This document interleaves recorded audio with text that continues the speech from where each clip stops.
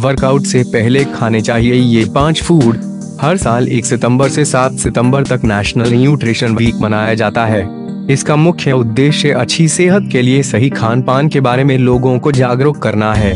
बात की जाए वर्कआउट की तो वर्कआउट करने से पहले सही खान पान के बारे में भी पता होना चाहिए। खास तौर पर एक्सरसाइज से पहले पोषक तत्वों वाली चीज़ें खानी चाहिए जिससे आपको वर्कआउट के लिए ताकत तो मिले ही साथ ही आपकी सेहत के लिए भी वो अच्छी हो। यहाँ हम आपको बता रहे हैं पाँच ऐसे पोषक तत्वों वाली खाने की चार्जों के बारे में। केला, केले में पोटेशियम काफ़ी मात्रा में होता है, जो आपके मांसपेशियों की क्रिया के लिए ज़रूरी होता है।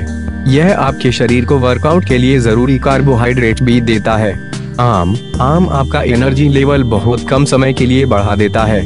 इसके अलावा इसमें विटामिन मिनरल और एंटीऑक्सीडेंट होते हैं। ओट मील और ब्लू बैरेज इन दोनों के कॉम्बिनेशन में आपकी बॉडी को प्रोटीन मिलता है जो वर्कआउट के दौरान आपकी मांसपेशियों को सपोर्ट करता है. Low fat cheese with apricot इसमें दूध का प्रोटीन और छाछ प्रोटीन प्रोटीन होता है. दूध का प्रोटीन जहाँ एक और पचने में समय लगाता है, वहीं शरीर को लंबे समय के लिए ऊर्जा देता है. इसके अलावा एप्रीकॉट विटामिन का अच्छा सोर्स है और दिल और हड्डियों के लिए फ़ायदेमंद है. अंडे और एवोकेडो। अगर आपकी भूख अच्छी है तो प्रोटीन के लिए आप अंडे खा सकते हैं। इसके आपका पेट भरा भरा रहेगा और वर्कआउट के लिए आपको पूरी ऊर्जा भी मिलेगी।